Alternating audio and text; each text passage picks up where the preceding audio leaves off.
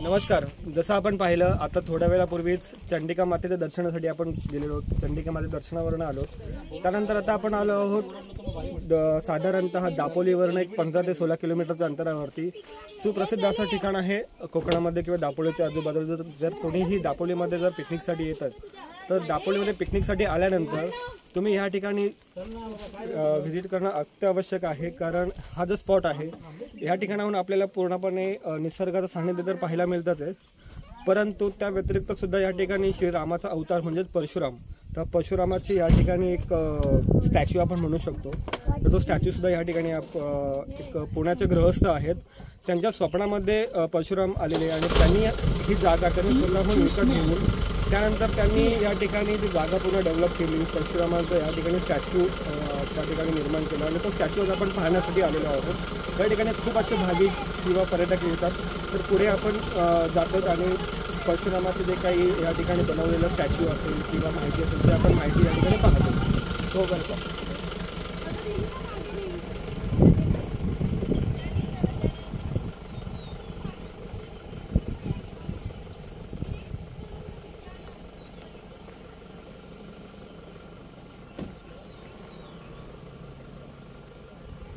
मुंबईकडनं तुम्ही येत आहेत तर कोणत्या दिवशी येतोय आपण आणि काय कोणत्या दिवशीनंतर कोणत्या वेळेमध्ये येणं गरजेचं आहे?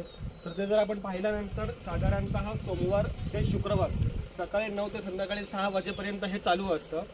आणि त्या व्यतिरिक्त जर तुम्ही शनिवार आणि रविवार येतात तर सकाळी आठ आणि संध्याकाळी सहा वाजेपर्यंत हे पर्यटन क्षेत्र तुम्हाला उपलब्ध असणार आहे ओपन असणार आहे.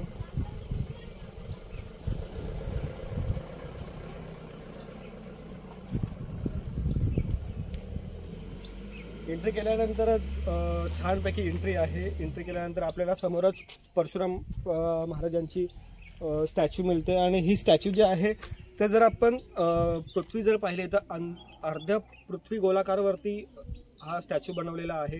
याच्या मागे खूप सारे इतिहास आहे. तर इतिहास या ठिकाणी आपण काही लोक आहेत. त्यांना आपण विचारणार आहोतच. पण तत्पूर्वी आपण या ठिकाणी असणारे निसर्गाचे सानिध्य आहे ग्रीनरी आहे हे सुद्धा आपल्याला या ठिकाणी पाहायला मिळतात. खूप सारे पर्यटक इकडे आपल्याला पाहायला मिळतात. त्यांचे रिव्ह्यूज आपण पाहू शकतो.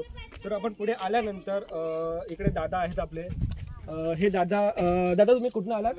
आम्ही पुण्यात आलो. पुण्यावरून आलेत. व्हेरी गुड जसं आपण चंडिके मातेच्या दर्शनाला गेलेलो तेव्हा पण एक त्या ठिकाणी गृहस्थ आपल्याला पुण्यावरनं आलेले तर इथे येणारा जास्तीत जास्त क्राऊड हा पुणे आणि मुंबईवरनं आहे. तर काय दादा आपलं नाव काय? माझं वैभव. वैभव सर आहेत. अ, तुम्ही केव्हा आलात कोकणामध्ये? अं, आम्ही दोन दिवस झाले अंजरलीला राहिलो होतो. आणि आता गुहागरला अंजरली म्हणजे कड्यावरचा गणपती. कड्यावरचा बरोबर. आणि तिकडनं आता तुम्ही गुहागरला चालला गुहागरला चाललो. बरं आणि गुहागरला जाता जाता तुम्हाला हे स्पॉट्स हो. या स्पॉटची तुम्हाला आधी माहिती होती का? ऐकून फक्त माहिती होती बघितलं अच्छा. बरं इथे आल्यानंतर कसं वाटलं तुम्हाला? खूपच प्रसन्न आणि निसर्ग आणि ही मूर्ती सगळंच एकदम सर्व अद्भुत छान आहे. अतिशय बरोबर आणि ह्या ठिकाणी आल्यानंतर कोणीही असो तो अगदी अ, मनमोहक होतो प्रसन्न होतो कारण आजूबाजूला जे काही ग्रीनरी आहे कोकणाची जी काही खासियत आहे कोकणामध्ये जे आपण साधारणतः मार्च एप्रिल मे ह्या तीन महिन्यामध्ये येण्याचं कारण तेच आहे की पुणे किंवा मुंबई किंवा नाशिक समोसा मोठ्या शहरामध्ये जी काही उष्णता आहे ती उष्णता किंवा रिलॅक्स होण्यासाठी आपण या ठिकाणी येतो. इथे आल्यानंतर आपल्याला असं वाटतं की खरोखर आपण आलोय. एक कमीत कमी दहा ते पंधरा दिवस या ठिकाणी राहावं. हो. त्यानंतरच आपण आपल्या परतीच्या प्रवासाला निघावं. मग काय दुसरा अनुभव काय सांगता तुम्ही? कोकणाबद्दल किंवा इथल्या कोकणाबद्दल म्हणजे जसं तुम्ही म्हणाले या सीझनमध्ये जो बहर असतो म्हणजे आता रात आंबे झाले आंबे असतात फणस असतात पायनॅपल आहे. काजू असतो. तर सगळे हे- बहरच सीझनच तसा आहे. नक्की. आणि त्याशिवाय ह्या ज्या गोष्टी आहेत ह्या गोष्टी आपल्याला विदाऊट केमिकलच्या इकडे आपल्याला पाहायला. मिळतात. आणि. आपण सगळे आस्वाद घेतो.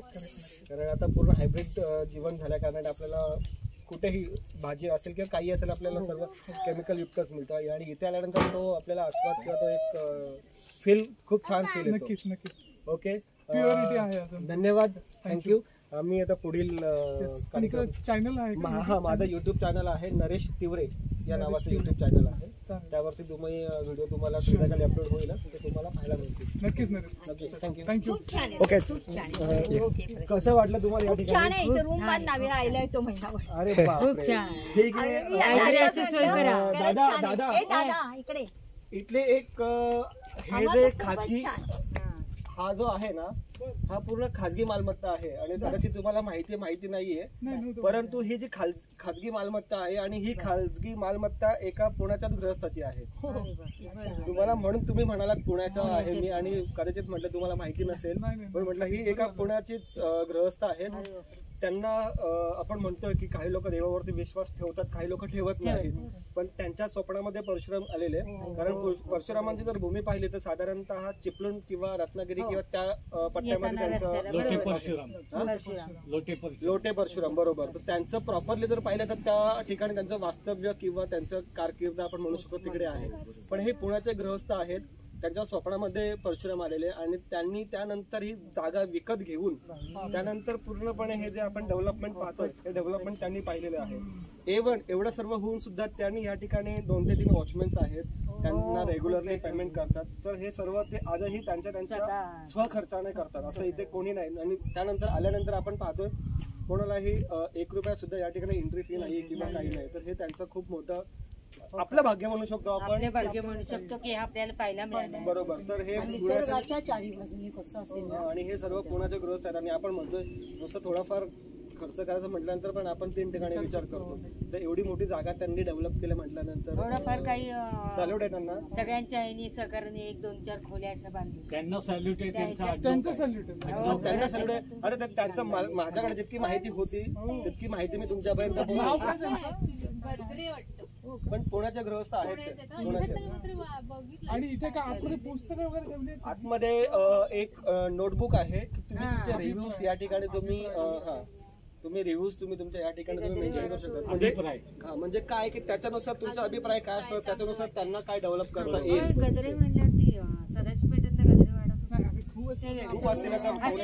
हे शिकारी आहे. पण छान केली टॉयलेट खाली दिसतात बेसिन एवढ्याच लावलेले किती दिसतात छान खाली. खाली हो, आहे. ते बा- बेसिन एक दिसते. छान आहे आहे. टॉयलेट वगैरे ती व्यवस्था पण केलेली आहे त्यांनी. तेच म्हणलं. ओके चालेल, मेरी- या धन्यवाद. तर आपण असेच खूप सारे पर्यटक सुद्धा या ठिकाणी आहेत. तर आपण चला जाऊयात पुढे.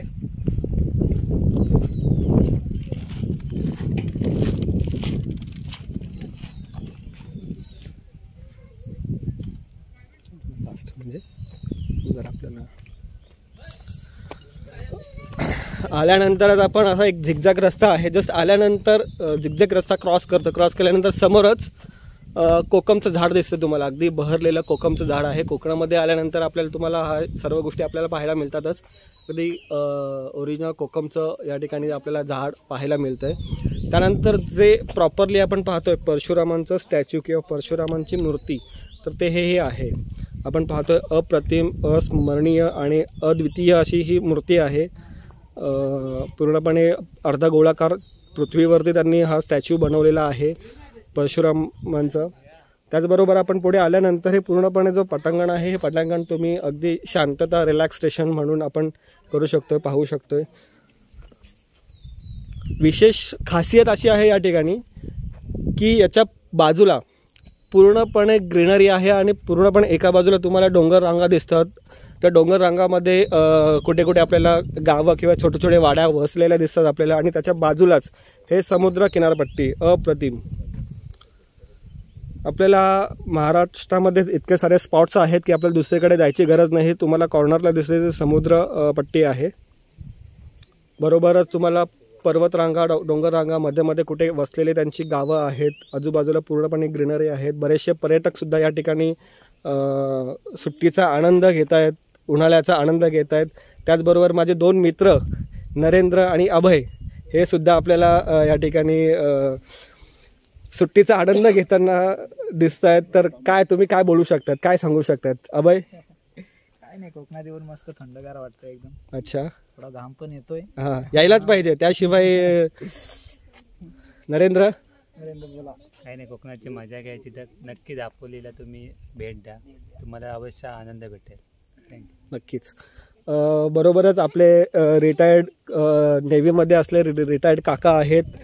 ते एक खासियत अशी आहे नाही काका जो आहे त्याला ते वाव द्यायलाच पाहिजे. इथे खासियत अशी आहे काकांची स्वतः नेव्हीमध्ये रिटायर्ड आहेत आणि ह्या ठिकाणी ते ॲज अ पर्यटक पर्यटना जे येत आहेत त्यांचं खास पाहुणचारासाठी म्हणा किंवा त्यांना काय गायडन्ससाठी असतात तेही झिरो मोबदल्यामध्ये त्यां ते एक रुपयाचीही अ, अपेक्षा करत नाहीत किंवा त्यांना पगारसुद्धा ते घेत नाहीत. ते त्यांच्या सहखर्चाने या ठिकाणी वेळ देतात आणि त्यांचा अमूल्य असा वेळ या ठिकाणी घालवतात पर्यटकांना माहिती देतात. तर काय सांगू शकतात तुम्ही?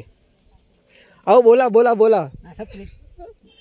तर काका स्वतःचा गुणगान गाण्यास नकार देतात. बरोबरच आपण पाहतोय की पूर्णपणे ग्रीनरी आहे. बरेचसे या ठिकाणी काकासुद्धा आपण पाहतो बरेचसे पर्यटक या ठिकाणी आलेले आहेत. काका काय वाटतं तुम्हाला या ठिकाणी येऊन? माझा पहिलाच कोकण प्रवास आहे. अरे वा. तरी जन्मामी जन्माने मी कोकणच असलो तरी कोकणाचा पहिलाच प्रवास. राहायला कुठे तुम्ही? राहणारा मी अंबाजोगाई बीड जिल्ह्यातला. बीड जिल्ह्यामध्ये. आता सध्या मुंबईत राहतो. मुंबईमध्ये कुठे? बदलापूरला. बदलापूरला. अच्छा म्हणजे आपण शेजारीच आहेत. तर त्याच्यामुळं कोकण प्रवासाचा त- त- पहिलाच आहे. पण फार छान वाटतं स्वतः गाडीत स्वतः फिरायला जो पण दुसऱ्यावर आलो पण स्वतः स्वतः गाडी घेऊन फिरवणं आणि आजूबाजूची सिनरी कोकणात प्रसन्न करतो कोकण. आल्यानंतर जायची इच्छा होत नाही न- होत नाही पण जावं लागणार. पर्याय नाही पोटा पाण्याचा विषय आहे. पोटा पाण्याच्या विषयासाठी आपल्याला जाणं गरजेचं आंब्याचा सीझन पकडून आलं त्याच्यामुळे काय सध्या इकडे येणारा जोही काही क्राऊड आहे तो फक्त आंबे फणस किंवा जे काही कोकणातले जे काही खाद्यपदार्थ आहेत तर त्यासाठी इकडे प्रसिद्ध किंवा लोक जास्तीत जास्त येतात. तसे आपला हा लहान छोटू आहे हा सुद्धा सुट्टीचा आनंद घेतो. काय नाव काय तुझं? ओमकार ओमकार कितव्या स्टँडर्डमध्ये आहेस तू स्कूलमध्ये? बदलापूरमध्येच? कुठलं? मुंबईला. मुंबईला कुठे? अच्छा घाटकोपरला राहिला आहे तू. तर आपण पाहतोय मुंबई घाटकोपर तसंच मुंबई बदलापूरवरनं आम्ही सुद्धा मुंबई ठाण्यावरनं असे अलग अलग अलग ठिकाणाहून लोक आलेले आहेत. सुट्टीचा तसंच मे महिन्याचा जो काही मुंबईमध्ये किंवा मोठ्या शहरामध्ये जो काही उष्णता आहे तर उष्णतापासून वाचण्यासाठी आपण या ठिकाणी आलेलो आहोत. पुढील आपण पाहतोय की पूर्णपणे हा स्टॅच्यू आहे. हा स्टॅच्यू आपण पाहतोय. स्टॅच्यू बरोबर अंध्र अर्ध गोळाकार आहे. तसेच हे काका काके सुद्धा या ठिकाणी आपल्याला पाहायला मिळतात. काका काय सांगू शकतात तुम्ही? मी पुण्याहून आलोय पण स्टॅच्यू हा एक नंबर आहे. परशुराम. बरोबर. रामाचा सच्चा सेवक. बरोबर? त्याच्या नावाबरोबर परशुराम म्हणून जोडलं जातं. बरोबर. आणि आज राम आहे ते सर्व आहे. सर्व आहे राम आहेत म्हणून आपण राम आहे म्हणून आपण आहे. बरोबर. आणि परशुराम म्हणे म्हणून आपण आहे. आपण आहोत. आणि आपण हिंदू धर्म आहे शिवाजी आहे म्हणून आपण आहे. बरोबर. महाराजांची खूप सारी आपण पुण्याई हो म्हणजे त्यांना पुण्य आहेच आहे. महाराजांचे पुण्य आणि त्यांना जितकं आपण त्यांचं गुणगान गाणू गाऊ तितकं कमीच आहे महाराजांचं. आहे. तर इकडे येऊन तुम्हाला कसं वाटतं कोकणामध्ये. मस्त कोकण तर एकदम हिरवगार. सगळीकडे बाकी ठिकाणी उष्णता. पाणी नाही काही नाही इथं असं नाही एवढी हिरवीगार सिनरी आहे. आज पाऊस नाही तरी एवढं हिरवं आहे. पाऊस पडला तर किती हिरवं होईल. बरोबर. आणि डोंगर बिंगर सगळ्यांनी असं मला वाटतं की ओसा डोंगर नसावाच. नसावंच. हा.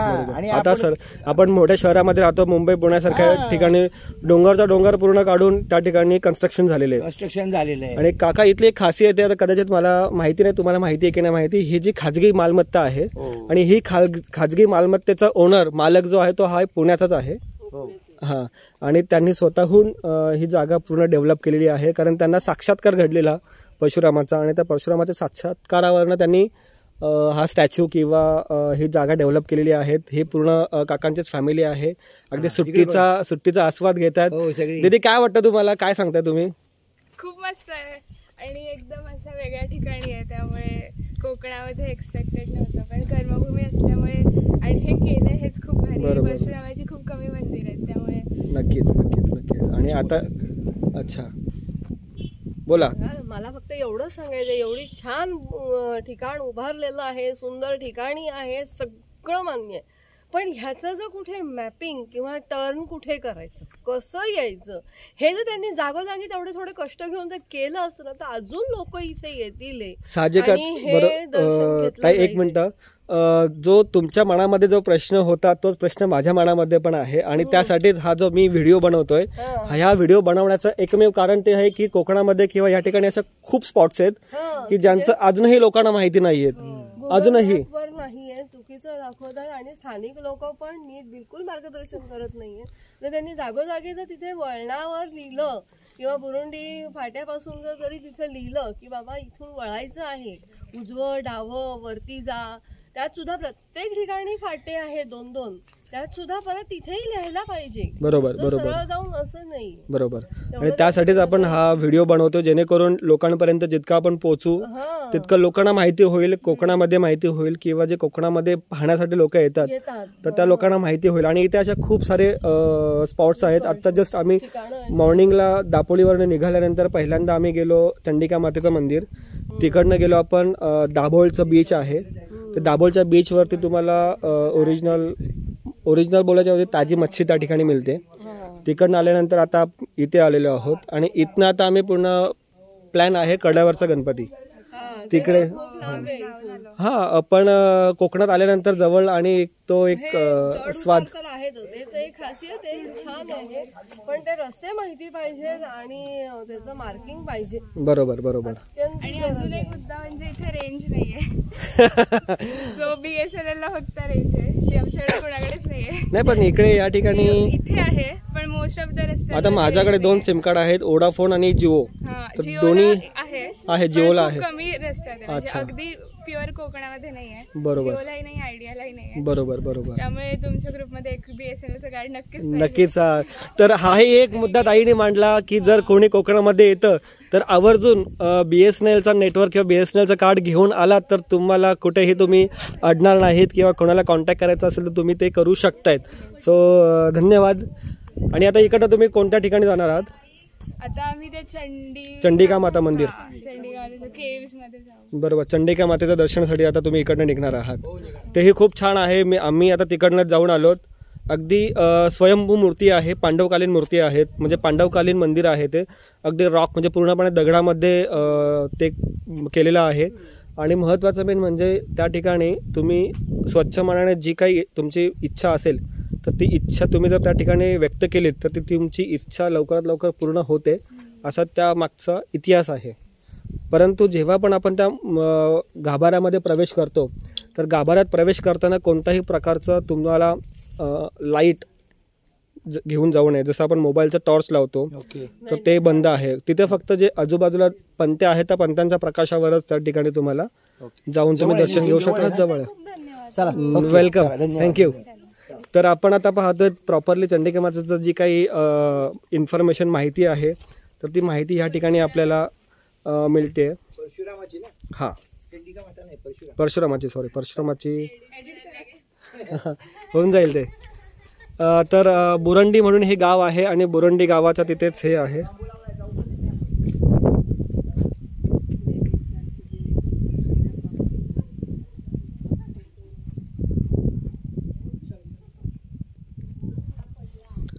त्याचबरोबर आपण आतमध्ये जर गेलोत तर आतमध्ये गेल्यानंतर चारही बाजूला पूर्णपणे असं ग्रीनरी आहेतच.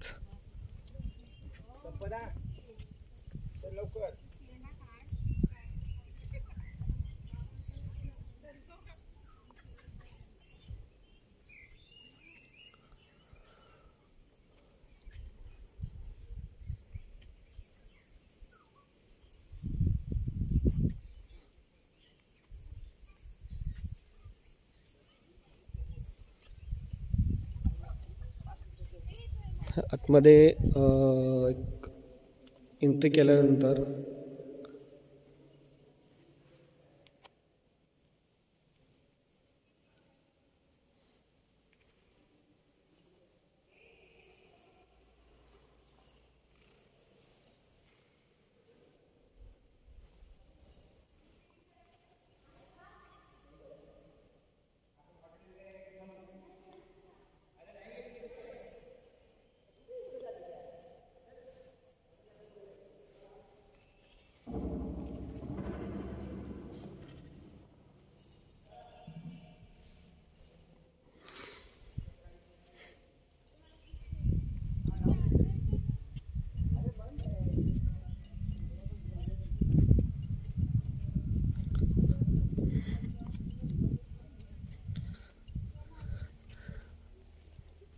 तर आता हे आपण पाहिलेलं आहे परशुरामांची भूमी परशुरामांची ज्या ठिकाणी आपण दापोळीमध्ये पाहतोय. तर व्हिडिओला लाईक करा शेअर करा आणि सबस्क्राईब करा.